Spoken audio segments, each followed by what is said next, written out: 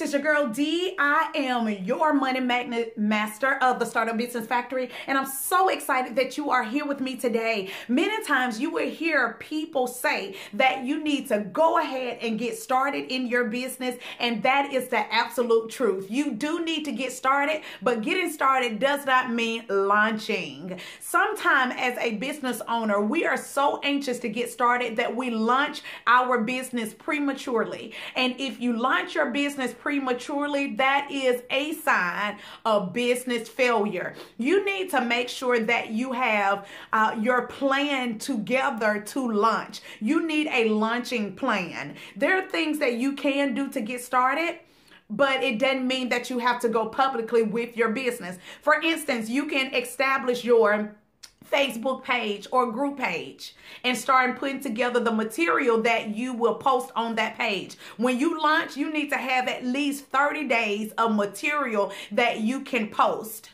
Also, you can start working on memes. You know what memes are? Those are the pictures where you put words on them. You can start working on those. You can start writing your blog, getting your website together. And also, I want you to work on a failure plan. Now, how many people told you to work on a failure plan? Now, this is going to be uh, very paramount to your business. And you know why? Because in our mind, when we launch our business, we assume that people will automatically gravitate towards our business.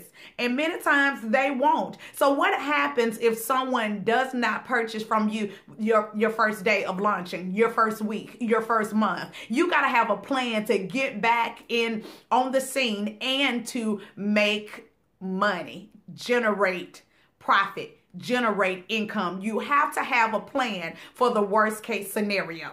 Many times as business owners, we only have a plan um, to, to execute and we think everything is going to go according to plan. No, that's why it's important that you get started working on your business behind the scenes before you launch. You need to make sure that you have thought about the ins and outs of your business. You may not know it all. There's some things that will be discovered and rediscovered as you launch your business. However, you have to have a plan. That's all I'm saying. Establish your plan. Get started behind the scenes before you launch because you do not want to launch your business prematurely because it really you have um what I would say one time to make a great first impression. And it's hard to regain the trust of your clients and your consumers and those who are just watching it's hard to gain their trust back if you start prematurely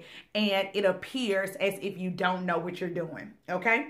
Well, this is your girl of the Startup Business Factory, and we want you to join our online community of new and aspiring entrepreneurs and business owners. You can find us on Facebook, Instagram, and YouTube under the Startup Business Factory, and you can find me, Dee. Edwards, on Facebook and on LinkedIn. I look forward to connecting with you.